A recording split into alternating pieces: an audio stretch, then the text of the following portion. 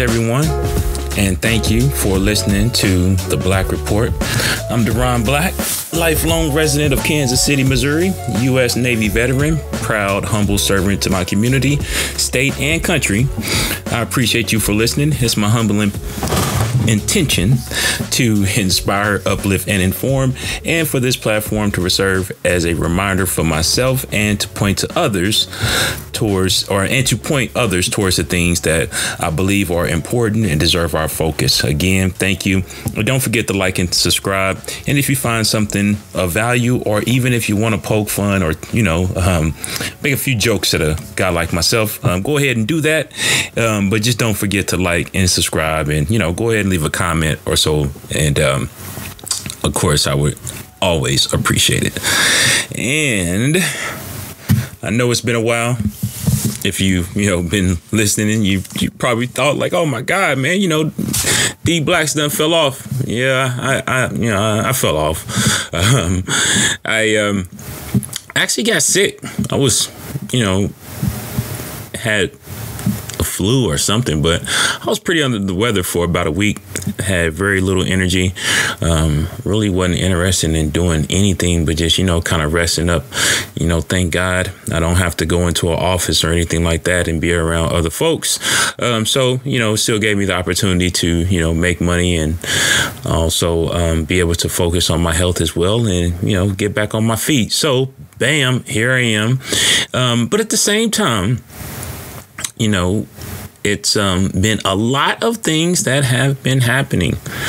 Um, I think before the little break, the Kansas City Chiefs were on their way to the Super Bowl. And of course, guess what? We won the Super Bowl.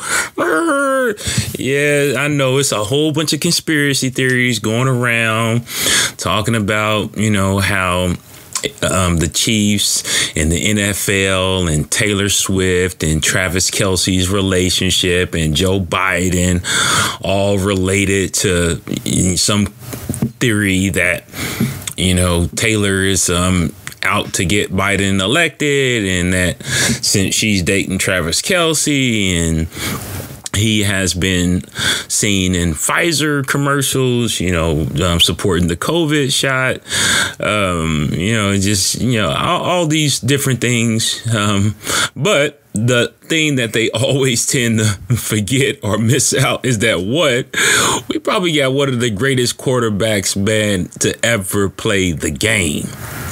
And, you know, I did not think that I would be making that statement ever. But it's true. It is true. Man, Patrick Mahomes, he's probably one of the greatest to ever do it at this point. You know, um, some people would say, you know, hands down.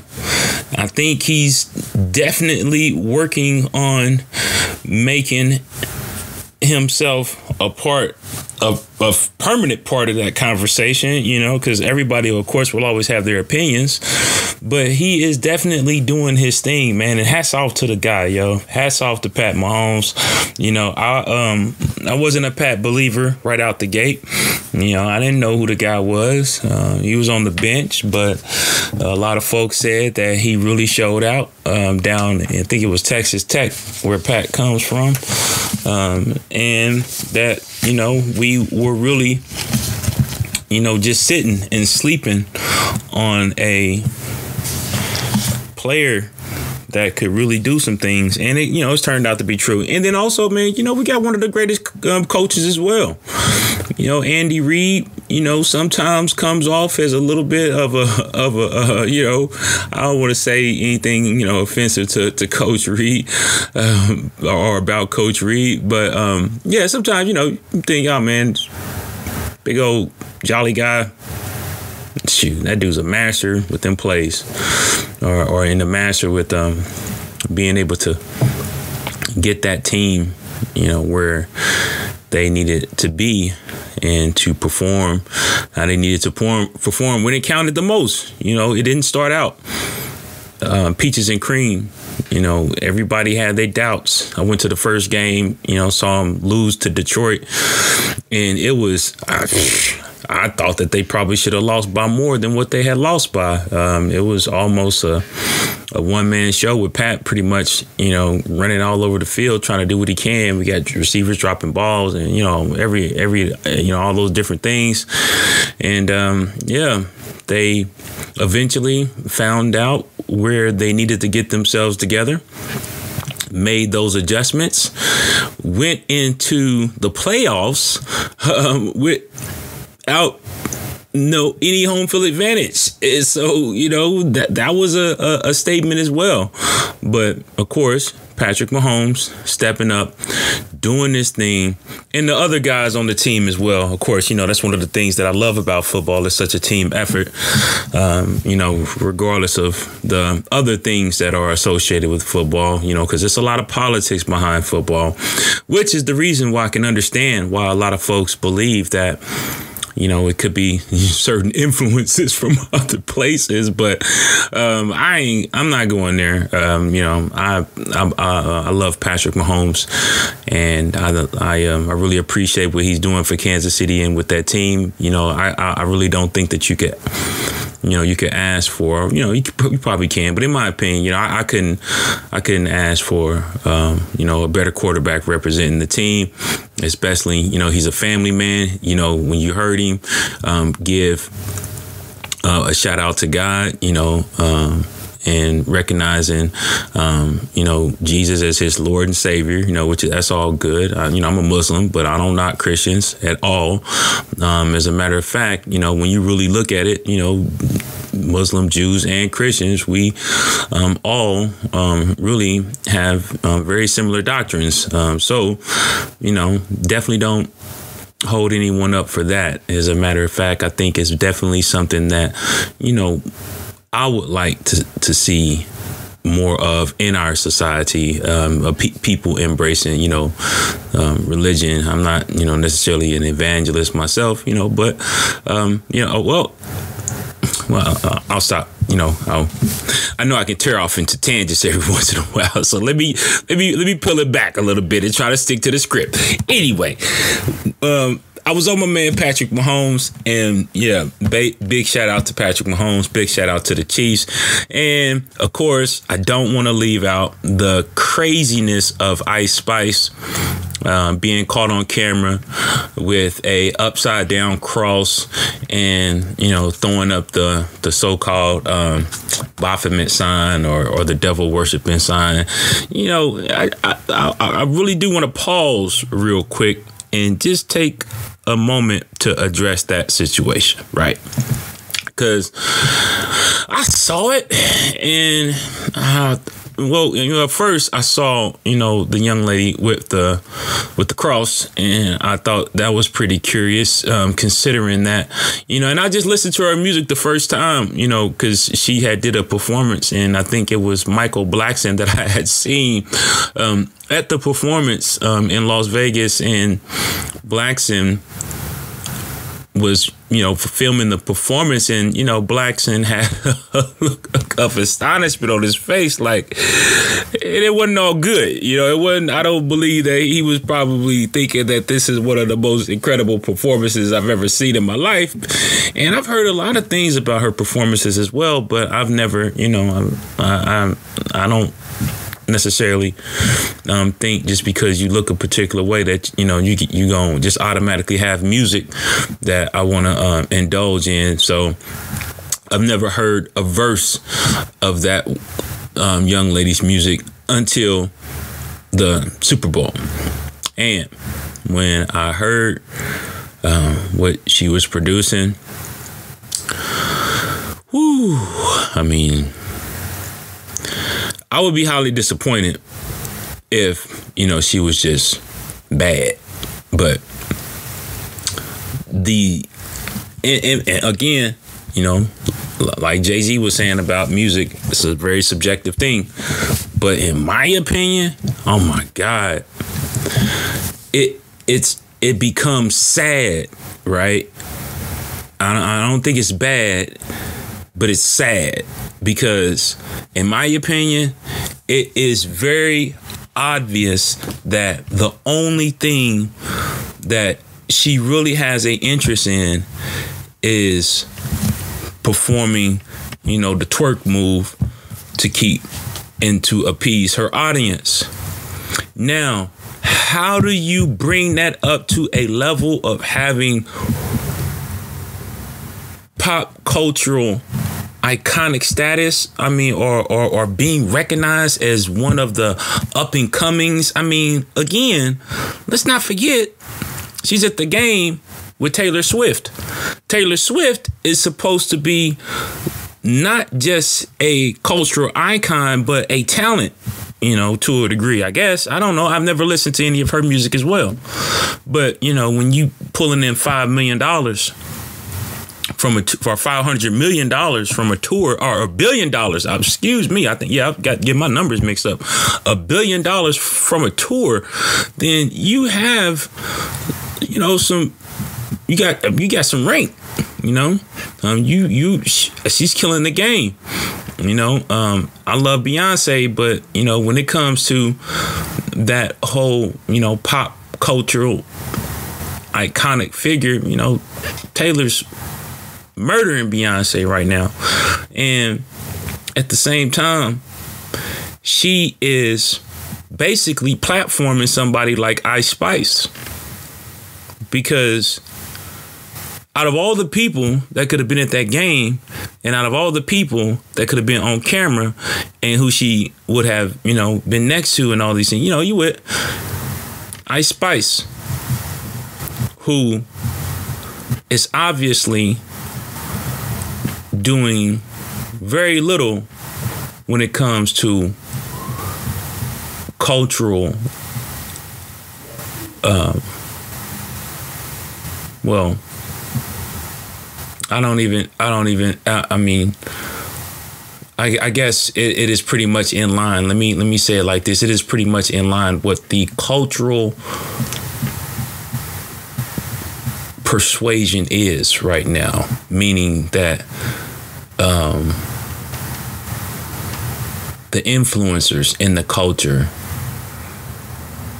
are the ones who bring the sexualization, in my opinion, you know, well, part of it, part of the major influences in the entertainment world um, for women, you know, in, in, black, I guess, black entertainment, black culture, right? You know, it it's sad.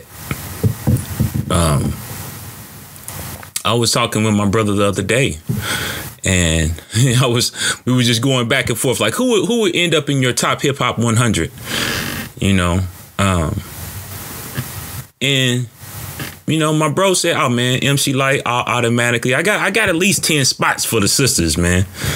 You know, we got ten spots for the sisters, and every single sister that he had named had more to them than just their looks. As a matter of fact, that was probably the, maybe the third, second to third thing down from their talent. You know, MC Lyte, talent, Queen Latifah, talent.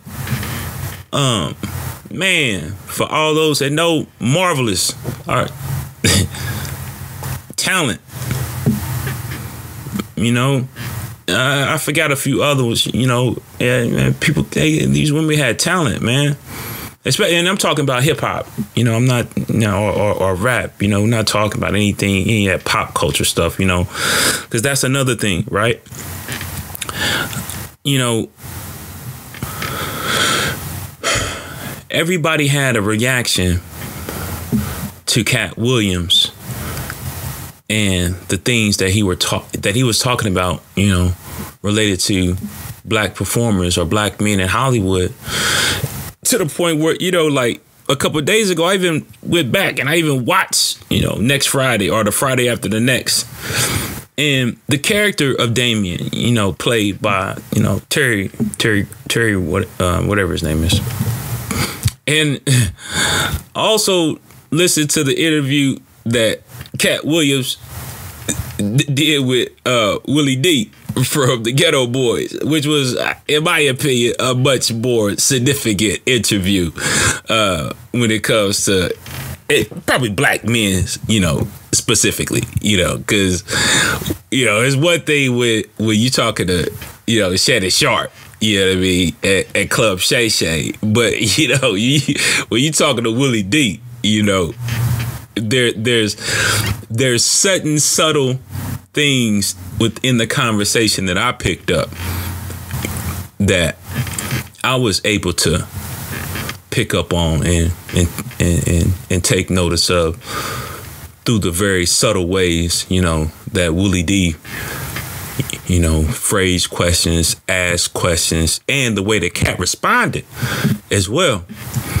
But one of the things that I have come to really appreciate about Katt is that he's really on his thing. I mean, I, I didn't know it. I mean, and I appreciate him, um, you know, take, you know, stepping out and pointing it out, you know, because I come from that type of environment, you know, where where you call people to the to the to the um to the carpet.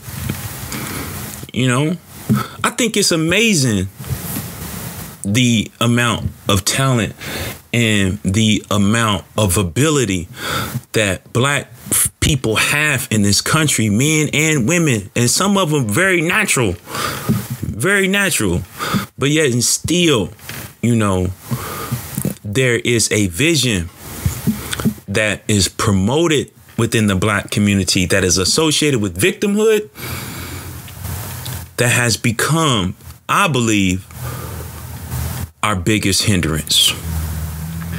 Because the more that that notion is promoted, then the greater handy, then then then, then um, uh, um, the more of a handicap we infuse into our culture, because it's you know I'm talking about black culture.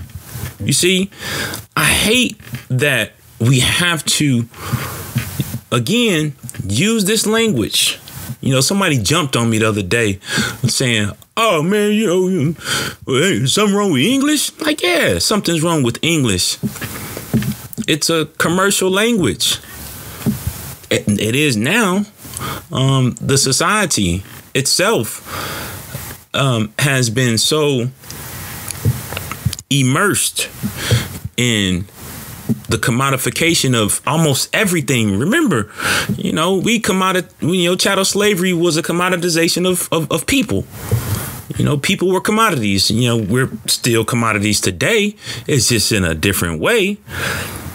But because of the language that we have today, it becomes hard to separate people from culture and how you go about bringing solutions and resolutions to certain issues when you can't get certain definitions right.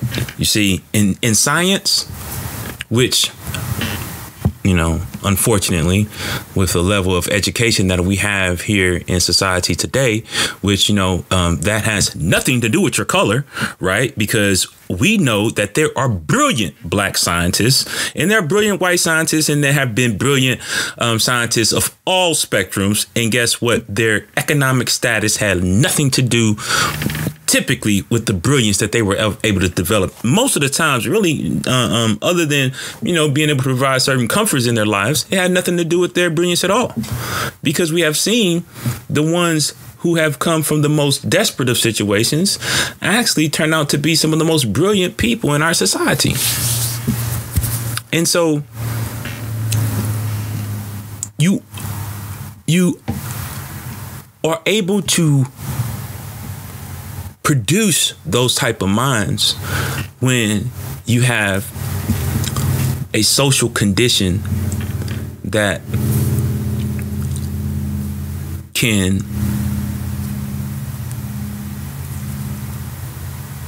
um,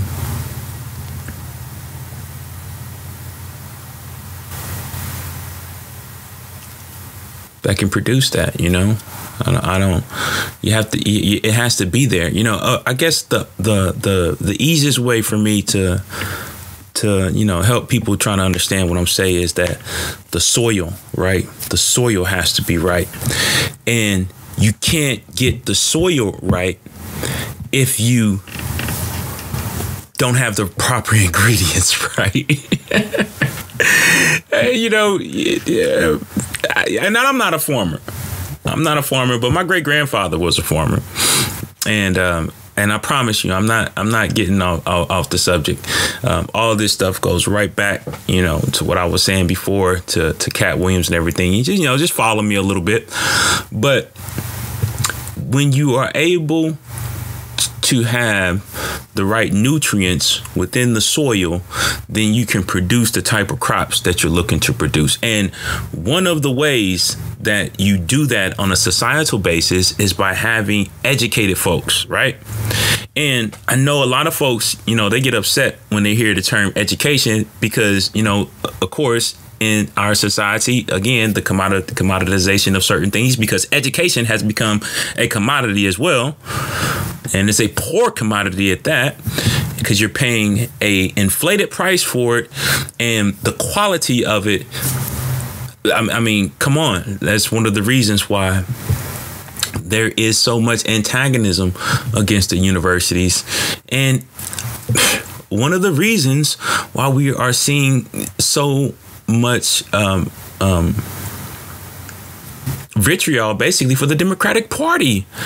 Because they have so-called upheld themselves as being the you know the so-called stewards of education. You know if you look at anything that's associated with education typically you're going to find democrats and then uh, after the democrats you're going to find liberals a very large proportion of people who fall up under the liberal persuasion.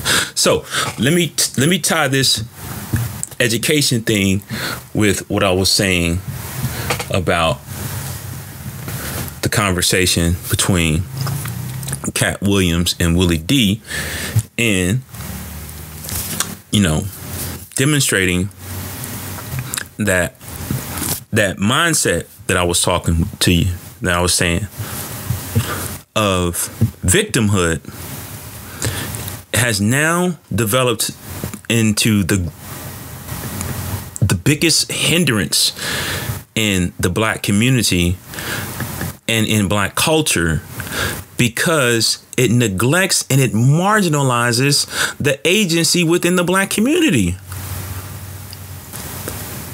Like I said, um, we used to pride, or or let me take that back. I find out when I look at black black culture and black history, right? Because it's Black History Month. Remember, we're supposed to reflect on the brilliance of the black community, right? And what happens when you start to focus on the brilliance of the black community? It's one of the reasons why Carter G Woodson created the miseducation of the Negro because he knew that at his time, um, the understanding of what it means to be educated was highly distorted. Um, I, I read the book and it's been a while since I've read the book, so I, I, probably should go back and read the book. But the modern education are the things that are being promoted in our school system today. And the way that it's being promoted in our school system today. And let me speak on Kansas City.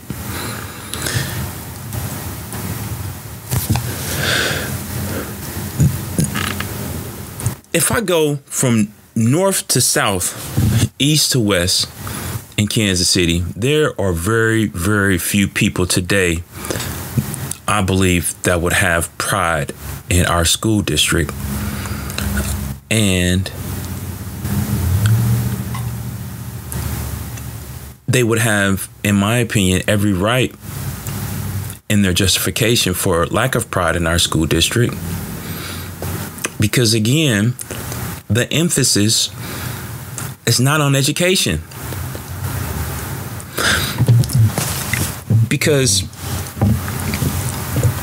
just like I was stressing before about there is a total wrong way and a right way to go about, you know, the natural process.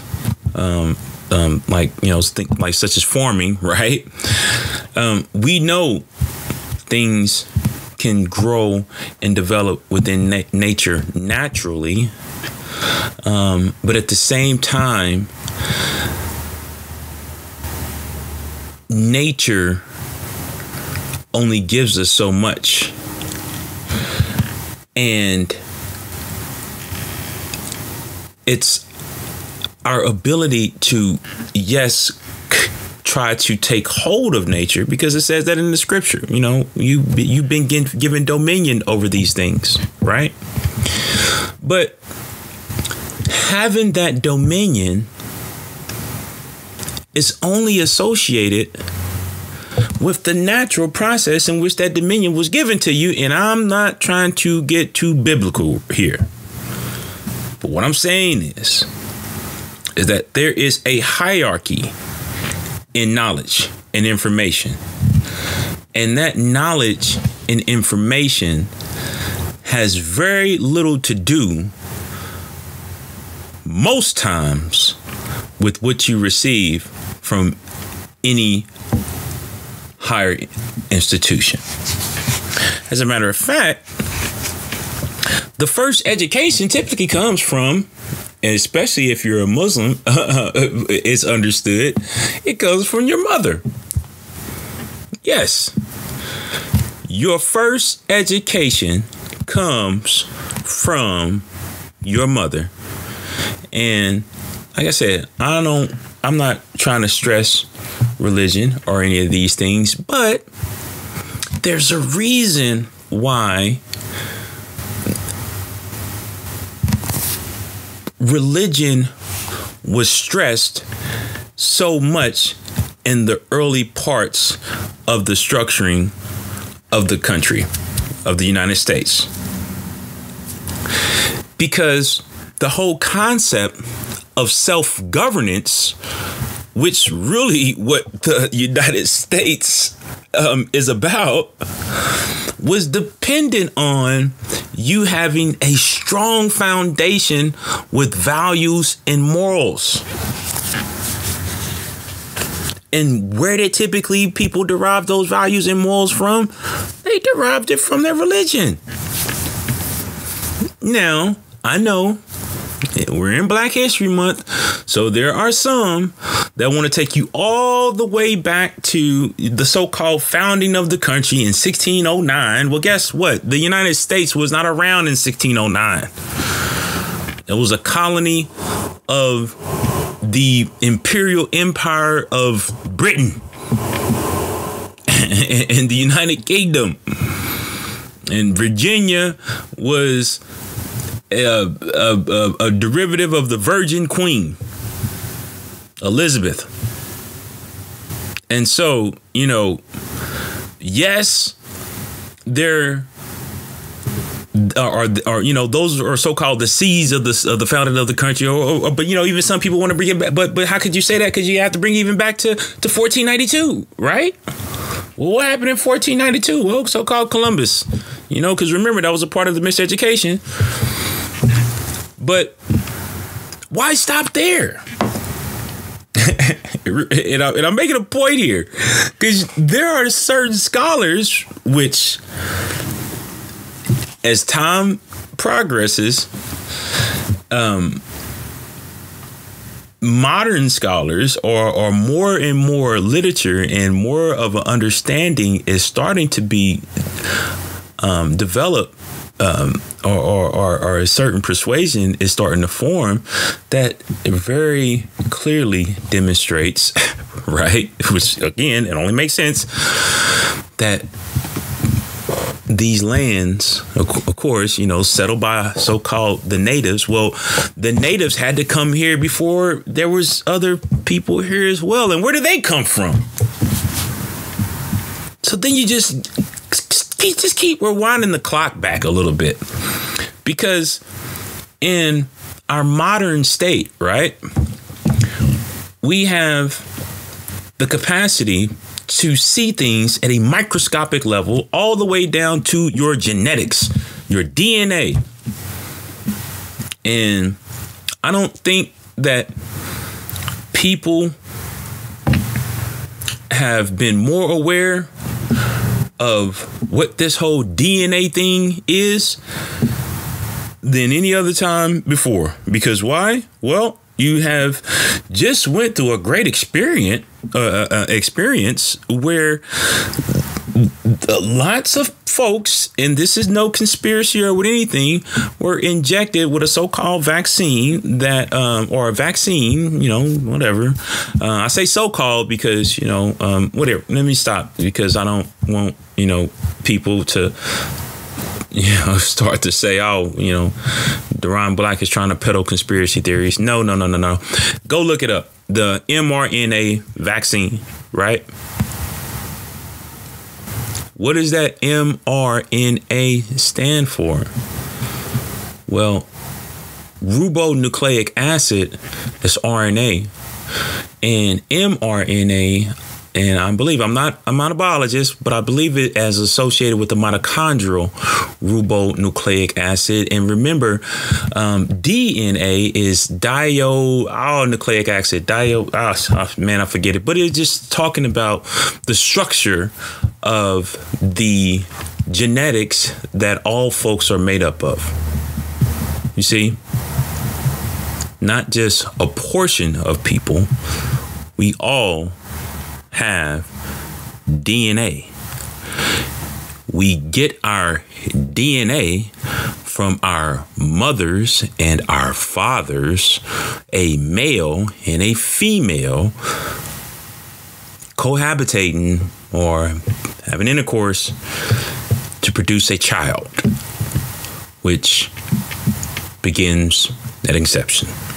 So, um, yeah, that mRNA um, COVID vaccine, in theory, is supposed to create a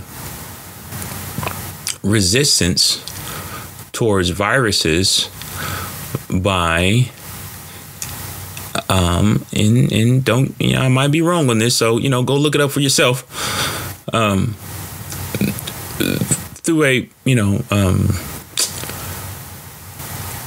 mutation process, basically. Let's just say it like that. But you know, it was an experiment, and I can definitely say it was an experiment because it was not. It was not certified as medicine um, because it didn't go through the proper trials. So,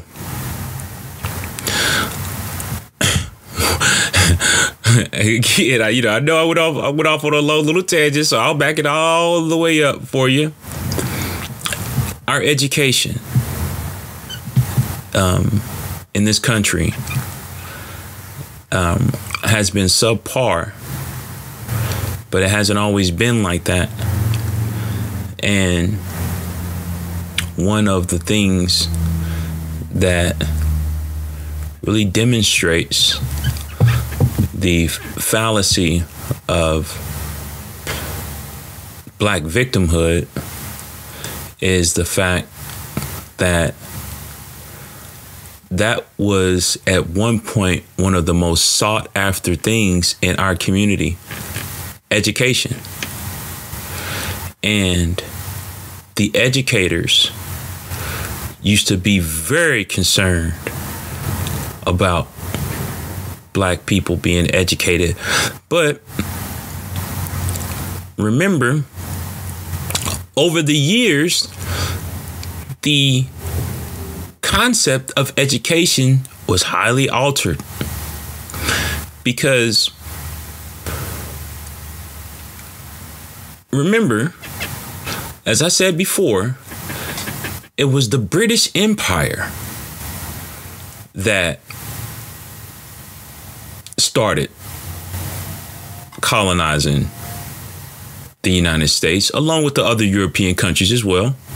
You know, the Spanish and the French. Um, and the reason why I believe it's important to start looking at this um, concept of education and self governance is because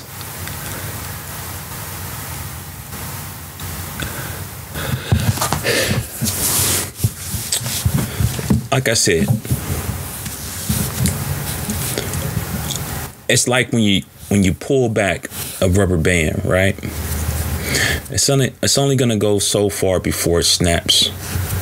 And um, I know I've rambled on a lot here, and I, I, I talked about some things I didn't anticipate talking about, but hopefully, you know, you'll you'll um, hear something that encourage you encourages you you know to continue to listen and continue to follow. Um, because this project is just not only dear to my heart um, it's it's necessary it's highly necessary and through that time that I was sick I didn't know how necessary it really was until um I got I got a, I got a few phone calls. Um, I got a few phone calls. You know, had some conversations with some folks, and you know, and, you know, got awakened to to things that are still happening in my community. And like I like I started out, you know, you know, talking about the Chiefs, and you know, and and you know, diverging a little bit, and you know, just getting way off track. Um, every because everyone knows about well almost everyone well the world knows let me put it that way. I know i know that for sure the world knows what happened in kansas city at that parade. Um, and i want to let the world know that of course that's not kansas city. And it's time for some folks to be accountable. And I know that those young men are, are, are, are going to be held accountable because, of course, we know the world's watching. But what about the people who so called claim to be responsible for these situations any other time? But when I'm sorry for, you know, lack of a better phrase, but when the S hits the fan, you know, they want to pawn it off on some so called um, theory that they have, you see, because everyone knows almost, and if you don't know, you should know where the violence exists in, in Kansas City, it's the black community. And it's not just the black community, but it's a very large proportion, larger than what it should be. But we here in Kansas City, we repeatedly state, oh, we're going to make a difference. Oh, we're going to make a difference. Oh, we can make a difference. Oh, and then as soon as we make those type statements, right? You see the immediate action that is just as worse as what was decided before. And so it just it just becomes more of the same. And if if and I'm talking to Kansas City on here, man, if we don't understand that, then we we we really have to question, you know, what it is that we're doing. So, like I said, it's one of the reasons why I um you know, I've, I've, I've, doubled down on certain commitments. You know, I'm not letting my past hold me up. I'm not letting my past hold me back. And you should neither especially if you have something good to offer and contribute. Seriously.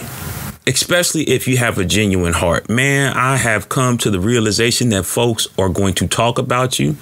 They'll drag you through the mud. They'll drive you crazy. Yes, I've been there. But I'm telling you, it's all good. It's all good. If you have a genuine heart and you are willing to get out and do what you can. You know, you ain't got to do it all. You know, uh, don't be like me. I used to think I had to do it all, had to do every single thing. You know, like I said, man, drive, that stuff will drive you crazy, make you sick, break you down. But when that happens, if you don't get up, they've won. And who I and who do I mean by they? Well, it's a little bit of an abstract because um, they changes all the time. So I'm not talking about white. I'm not talking about black. I'm not talking about green, purple, Chinese, Asian, Indian. None of it. One of the things that I've learned in, like in economics and about politics is that ideas have power. Ideas have power. Ideas have power just as much as a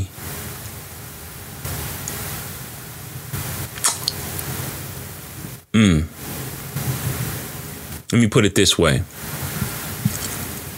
because I was going to say some stuff and I, I really don't want to put it put it like that. So let me put it this way. Remember, if you believe in the Bible, you know, and even even if you're a Muslim, right? The Bible talks about the serpent in the garden that made a suggestion. Think of that. The serpent didn't come with a B 2 bomber and say, submit. Nah. That's a little bit further down the road. or, or, or a sword and put it to someone's head and say, do it. No. The serpent made a suggestion that created an idea that took our mothers and our fathers out of grace. And I'm talking about mother and father, Adam and Eve. You know. So once we realize the power that we have by just changing our mindset, then everything is within our hands. Seriously. Um, but we got to get away from certain ideas. Certain ideas and ideologies, I believe, are not just taking black folks off the path, it's taking the whole country off the path. And and yes, the conspiracy is that black folks are the main instrument. We're we're we're we're almost the useful idiots to a very large degree. And it's because of our miseducation for some of us and cowardice for others, greediness for some, and it's just way too much selfishness all around the board. Bottom line, period. Just calling a spade a spade, man. We're sitting here looking for reparations in this country when we have folks that have access to things that could build institutions with far greater resources than ever before or have ever been known. But remember, I started out, you know, talking about the Chiefs, and then I moved on to Katt Williams and talking about, you know, certain circumstances that Katt was bringing up. And um, I'm gonna have to get to that another time. Kind of went over a little bit. Of course, I went off cuff. Um, I'm getting better though.